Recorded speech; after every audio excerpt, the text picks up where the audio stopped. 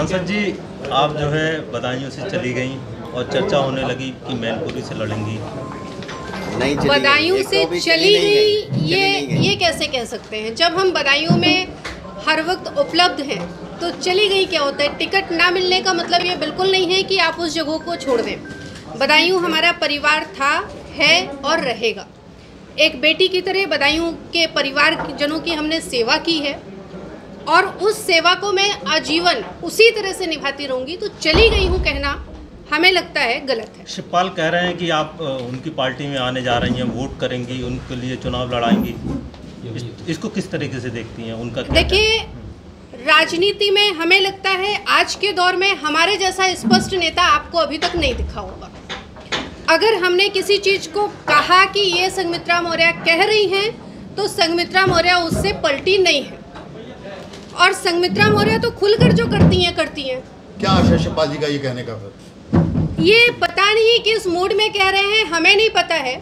यहाँ पर हमारा भाई चुनाव लड़ रहा है तो निश्चित तौर पर हम अपने भाई के साथ पहले दिन से आखिरी दिन तक हैं और रहेंगे। पिताजी अगर पिताजी आ गए आपके यहाँ चुनाव लड़ाने तो आप उधर लड़ाएँगे भाजपा को और देखिए दोनों लोगों की पार्टियाँ अलग हैं।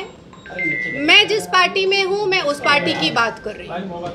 मैं अपनी पार्टी के साथ हूँ हमारी पार्टी से हमारे बड़े भाई को टिकट मिला है बदायूं लोकसभा में तो मैं उसके साथ हूँ और मैं उसी को चुनाव लड़ा रही हूँ लड़ाऊँगी। आने वाले समय में अगर मैनपुरी से टिकट मिलता है आपको तो चुनाव क्या आप वहाँ लड़ने जाएँगी?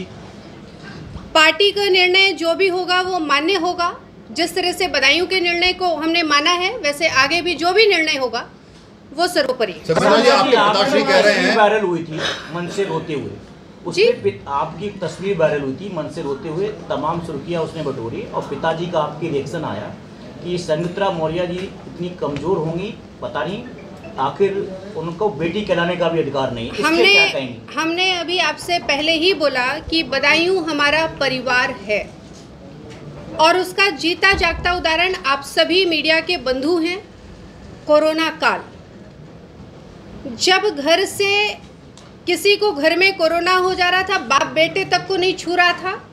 उस वक्त संगमित्रा मौर्य एक बेटी और बहन होने का पूरा फ़र्ज़ निभाया। एक एक कोरोना मरीज़ से वो व्यक्तिगत जाकर के मिली है पीपी किट पहन करके।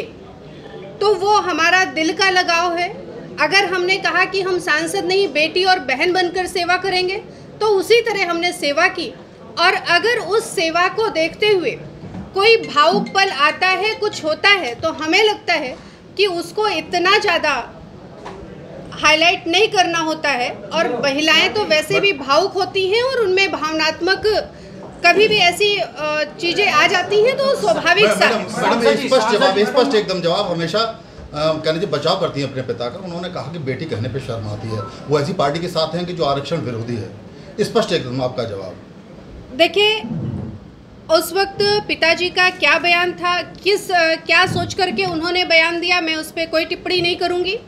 लेकिन मैं हमेशा कहती हूँ राजनीति अपनी जगह है परिवार अपनी जगह है। और दोनों को मैं लेकर के चल रही हूँ और जब तक जीवित हूँ तब तक लेकर के चलूँगी रिश्तों को कोई खत्म नहीं कर सकता है। सांसद जी अभी बात प्रदेश अध्यक्ष जी से हो रही थी और पूछा गया उनसे कि बदायूं में आपके टिकट कटने की वजह। अभी तक स्पष्ट नहीं हो पाई। जबकि अगर टिकट काटना ही था, और आपका ही टिकट का, काटना था और उन्होंने मौर्य को ही टिकट दिया है तो इसको आप कैसे देखती हैं? और दूसरी तरफ़ पार्टी लड़ाने का विचार कर रही है मैनपुरी से आपको तो आपको क्या लगता है? पार्टी का स्टैंड आपके ऊपर कैसा है? देखिए, आपका जो सवाल है, मैं जवाब उस पर दे रही हूँ, पार्टी का निर्णय क्या होगा, वो बात का विषय है।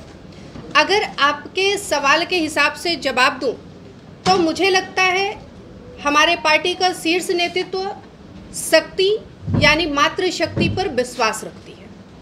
और उसी शक्ति पर विश्वास रख करके 2019 में बदायूं हमें भेजा था आशीर्वाद दे करके और बदायूं में कमल खिला।